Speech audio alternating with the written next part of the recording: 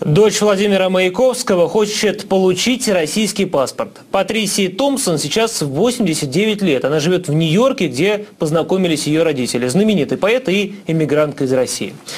Каким русским именем просит себя называть и есть ли в планах переезд в Россию, узнал Антон Пономарев. Хотите, буду безукоризненно нежный. Не мужчина, а облако в штанах. Величайшая поэма. Поэму Маяковского «Облако в штанах» Патрисия Томпсон декламирует по-английски, но называть себя просит русским именем Еленой Маяковской. Елена Владимировна, it sounds like Russian style. Your name. Но это же мое имя. Это имя Патрисия хотела бы видеть в своем российском паспорте. О нем она говорит сегодня с таким же воодушевлением, как когда-то Маяковский в стихах о паспорте советском. Смотрите, завидуйте, она почти гражданин. Russian. Я русская.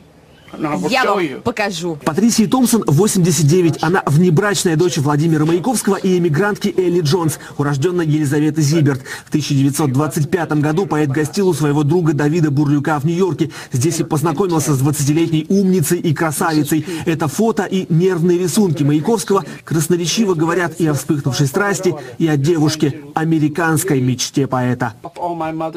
Это все мамины ухажеры здесь. Он сначала нарисовал, а позже позже зачеркал их всех. В том же году Маяковский вернулся в Россию. Приехать в Америку снова уже не смог. Единственная встреча отца и дочери произошла в Ницце почти через три года. Все последующее общение, вплоть до скорой смерти поэта, только в редких письмах. Мама всегда говорила мне, никогда ни в чем его не вини. Я ведь могла считать, что он бросил нас, не помогал. Ему нельзя было признаться публично, что у него там дочка. Дочка Патрисия, профессор философии Нью-Йоркского университета и автор многих исследований жизни и творчества Владимира Маяковского. Нью-Йоркская квартира Патрисии Томпсон Елены Владимировны. Это сегодня такой музей имени Владимира Маяковского. Всюду бюсты, книги, портреты. Книга самой Томпсон «Маяковский на Манхэттене» совсем не литературоведческим под заголовком «Любовная история». Каково, видимо, она и была на самом деле. Всюду коробки, горы записей, одних томов воспоминаний Томпсон Маяковской здесь десятки. Владимир Маяковский с Манхэттена как будто бы никуда и не уезжал. Не идет речи о переезде Патрисии в Россию на постоянное место жительства, разве что в гости. В Америке сын, внуки, вся жизнь. Российский паспорт для дочери Маяковского – своего рода символический билет на родину с открытой датой, которым можно воспользоваться в любой момент. Я думаю, паспорт для нее это больше символ ее любви к России. Такая связь и чувство единства с Родиной, любовь к которой была у нее в сердце все это время.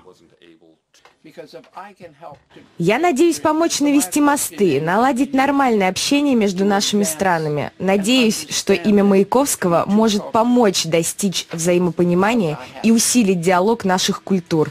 Тогда я умру счастливой.